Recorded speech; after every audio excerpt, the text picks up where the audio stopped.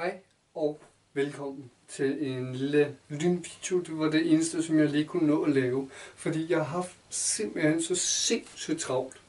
For det første, øhm, så har jeg redigeret en hel masse gameplay, som jeg har lavet sammen med kammerater og sådan noget øhm, Left 4 Dead, øh, Gmod og så Doom har jeg redigeret rigtig, rigtig meget. Derfor gik jeg lidt sent i gang med min anmeldelse af YouTuber, det gjorde jeg i går. Men da jeg så var færdig med at optage, redigere og sådan noget, så var der noget galt med lyden. Okay, så går jeg så ind for at tjekke, hvad det var, som der var galt med lyden. Det skrættede helt sindssygt. Og så da jeg begyndte at re- redigere i det, så slettede den det hele. Og jeg aner ikke, hvorfor den gjorde det. Så der kommer ingen anmeldelse af YouTuber i dag. Eller det er faktisk i morgen. øhm, og jeg får heller ikke noget at lave en ny anmeldelse af YouTube. Jeg håber på, at jeg kan få lavet den her på søndag eller i næste uge. På grund af, at jeg skal til bryllup i morgens øh, til en af mine venners bryllup. Øhm, så det når jeg simpelthen ikke. Og jeg er virkelig, virkelig, virkelig ked af.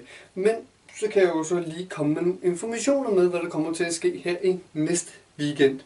Fordi næste weekend her om lørdag, det skal jeg have lavet en ny tatovering. Jeg har en tatovering her på øh, brystkassen, og så har jeg en tatovering på ryggen. De er ikke særlig store, de er sådan, sådan her, cirka. Den der, den der lige der, kan man så se. En, øh, nu er det så lidt magt, men jeg har i hvert fald en øh, tatovering der også.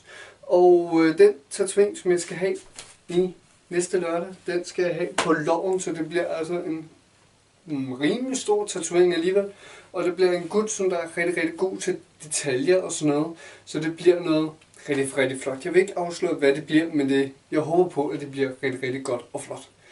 Jeg kan vise jer, at hjemmesiden den er forhåbentlig nede i linken, og hvis den ikke er, så kommer den senere, fordi den her video den bliver lagt op så hurtigt som overhovedet muligt om lørdagen. Øh, fordi jeg har mange ting at se til, og jeg er virkelig, virkelig ked af, at der ikke kommer en anmeldelse af YouTuber.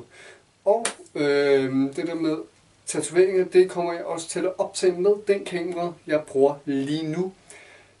Det betyder, at den kommer op på min, øh, på min side, eller på tv klart side, fordi jeg skal lige finde ud af noget med min chef, fordi jeg har snakket med ham om, at det skulle være noget på deres side.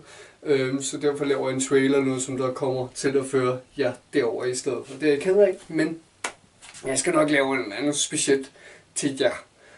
Og det betyder også, at øh, jamen, jeg kommer til at snakke med ham der tatovøren om nogle spørgsmål og sådan noget. Så hvis I har nogle spørgsmål, øh, og I har tænkt på, jamen, hvorfor laver man tatovering, hvordan laver man tatovering, hvordan foregår det, en eller anden, så kan I skrive noget i beskrivelsen. Så kan jeg stille nogle spørgsmål til ham, mens han laver min tatovering, fordi det vil han utrolig gerne.